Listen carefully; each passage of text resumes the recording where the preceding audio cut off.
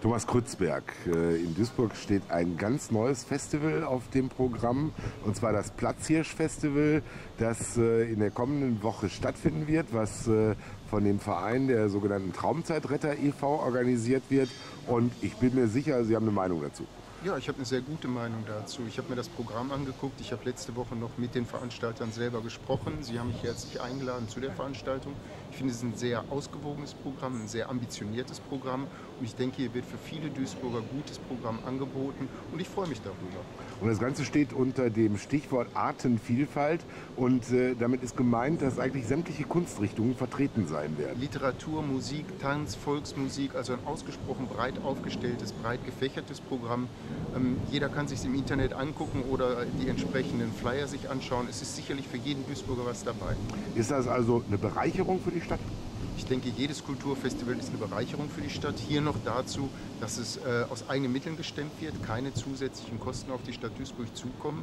Ähm, das ist wirklich ein Highlight, denke ich mal. Da kann Duisburg als Stadt und die Kunstszene in Duisburg stolz drauf sein. Und vor allen Dingen, was ich faszinierend finde, ist, dass die Veranstalter sich jetzt schon sicher sind, dass das zu einer ja, regelmäßigen Veranstaltung werden wird.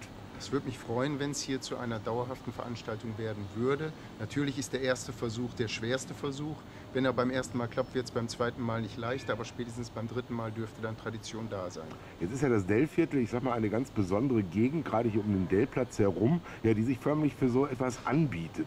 Äh, ist es eigentlich wünschenswert, dass solche, ich sag mal, privaten Initiativen in dieser Stadt öfter stattfinden? Also die Stadt Duisburg alleine kann nicht die ganze Kulturszene und Künstlerszene in Duisburg tragen. Das ist finanziell überhaupt nicht möglich. Deswegen freue ich mich, dass es solche privaten Initiativen gibt.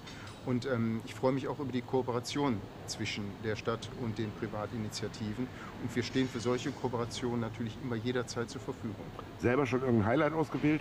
Ähm, ich habe noch kein Highlight ausgewählt. Ich werde auch sehr große Schwierigkeiten haben, vorbeizukommen, weil ich im Vorfeld, vor der Veranstaltung, schon viele andere Termine an diesem Wochenende zugesagt habe. Es ist eine Eröffnungs-, eine Ausstellung.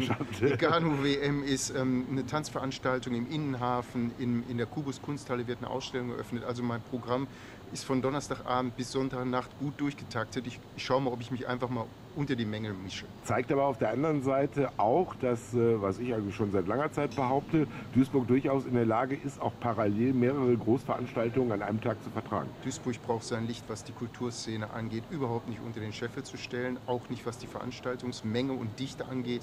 Da ist Duisburg sehr gut aufgestellt und Duisburg kann viel leisten und leistet viel. Thomas Kreuzberg, vielen Dank.